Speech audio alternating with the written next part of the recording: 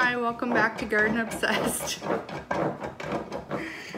I've got my dog here, my coffee here, and my 2022 Dahlia spreadsheet.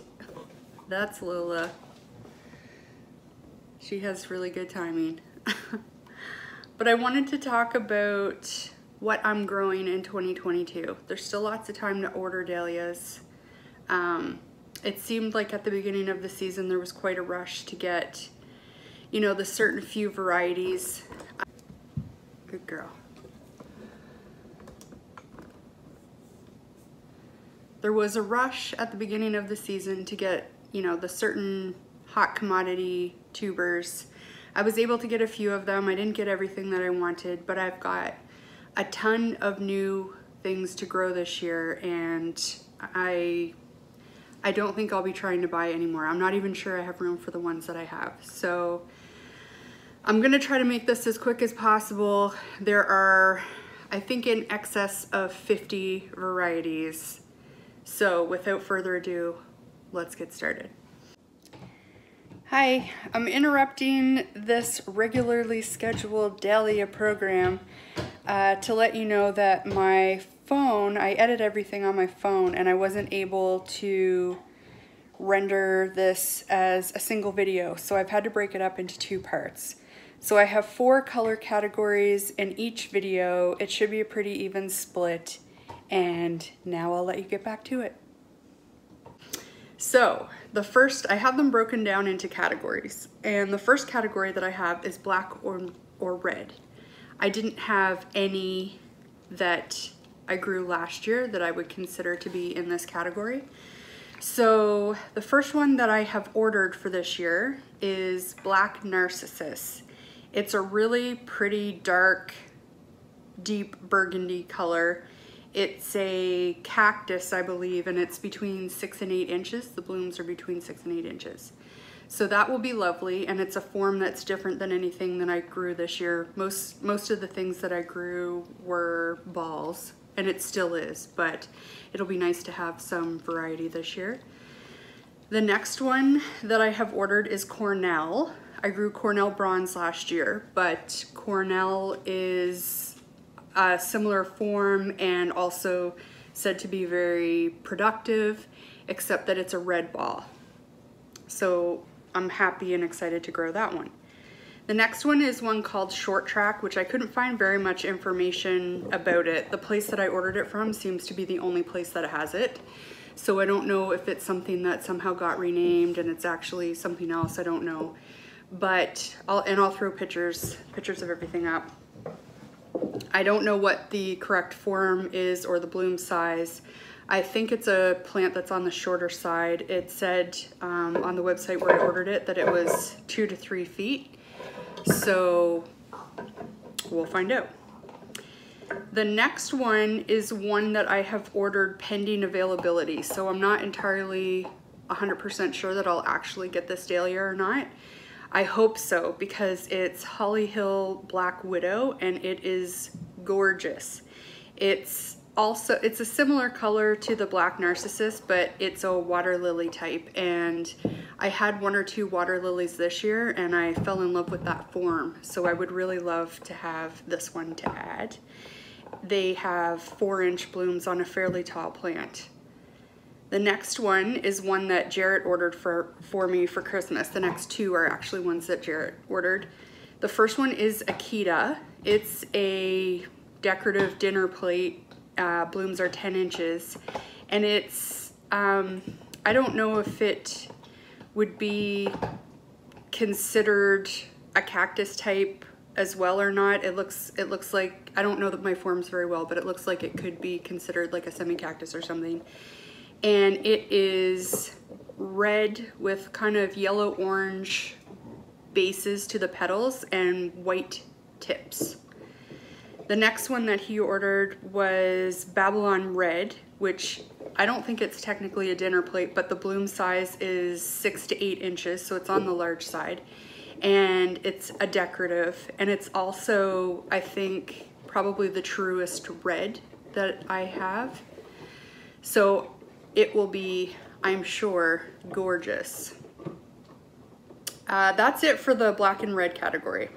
The next category is orange and peach. This is probably one of the categories that I had the most of last year. So I'll go through those fairly quick. So the first is Cornell Bronze, four inch bronze colored ball. Uh, super productive, loved it, we'll grow it multiple multiples of it this year.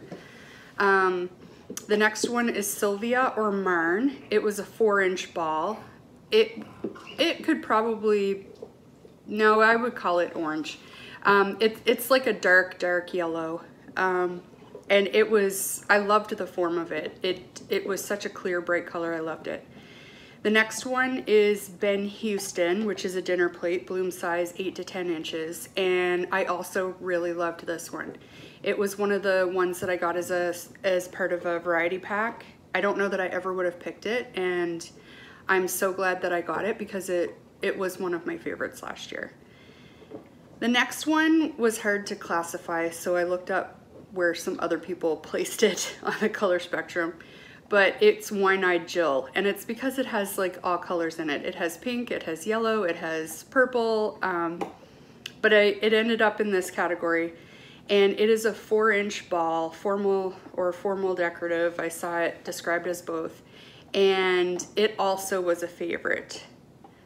Now we're into some of the new ones that I have ordered. So the first one I actually didn't order. Um, a woman on our a local dahlia Facebook page was moving and getting rid of a lot of her dahlias. So um, I was able to pick up two from her. One is an unknown orange ball, so we'll see what that is. Um, and the other one I'll get to later in the berry category. um, Another one that I ordered that may or may not be available depending on how the tubers store is Celeste. I also wasn't able to find out a whole lot of information about this one, but it looks sort of similar to like a Rebecca's World in that the back few layers of the petals are a different color than the front layers of the petals, except it's completely different color. It's uh, more like a creamsicle orange color in the back layers with like white petals on the front with orange bases. So it should be interesting. And I'm looking forward to that one if I, if I am able to get it. The next one that I have ordered is Snoho Doris. This one was also kind of difficult to categorize. It looks like it might be one of those color chameleon type dahlias. Um, it's between four and five inch ball and I'm looking forward to that one. The next one is Joey Chantel, which is definitely an orange ball type, and the blooms are between three and a half and four inches. Somebody wants me to play with her. All right, on to yellows. So I grew Blyton Softer Gleam last year and I absolutely loved it. I'm not sure if it's the best tuber producer. The one I had didn't produce very many, but I have enough to try again this year, so we'll see how it goes. It's um, a ball type and the blooms are five inches. The next one was also a surprise and I received a couple of them from that variety pack that I ordered last year. It is Sunny Boy, they're three to four inch flowers, it's a ball type and prolific bloomer, and probably the best tuber producer that I had of all the types. The next one I'm referring to as not Boom Boom Yellow because it was supposed to be Boom Boom Yellow and I'm fairly certain that it is not Boom Boom Yellow. Um, I didn't take the best notes so I don't remember what the bloom size and the height of the plant and things were but it it was brighter yellow than I think Boom Boom is supposed to be and I'll be doing some investigation this year to see if I can kind of figure out what it is or at least you know one that it's similar to. So um, because my buttercream yellow did not turn out to be buttercream yellow I went ahead and ordered lemon drops this year which is a four inch decorative type that has light yellow blooms. It should should uh, be pretty. And then I ordered Little Scottie, which is a pom-pom type Uh, the blooms are only two inches and I hadn't grown any pompons before so there's a few that I have ordered this year. Um, I think I'm going to love them so we'll see. And then the last one in the yellow category that I've ordered is Golden Torch, which looks like a classic yellow three inch ball. And I think that will be pretty as well. So now on to the white category. White is something that I had only ordered one white tuber last year and it ended up being one of the ones that didn't make it. But I ended up getting one in um, that variety pack that I had ordered, which turned out to be white Isa, which is a is a ball on the smaller side, two to three inches. And I also ended up with what I'm calling my bride-to-be look-alike. Um, it was a four inch water lily white dahlia that ended up being in a package of cafe au lait that I had gotten from Walmart. So it obviously wasn't cafe au lait, but I was very happy to have it and it was very prolific. Um, those being the only two, I decided I definitely needed more. So I ordered one which possibly could have gone in a different category, but it's mostly white, um, called Evelyn. It has kind of lavender tips of the center petals, and it is a four inch ball, I believe. I also ordered Boom Boom White, which is a five inch white ball. Um, Next, I ordered Fleurel, which is an eight inch decorative type that many people swear by. And another that many people swear by is Petra's Wedding, which is a three inch ball that's also said to be very prolific and good in cut flower bouquets, which is what I want them for. So please head on over to part two of the video to see the other half of the dahlias that I'm growing in 2022.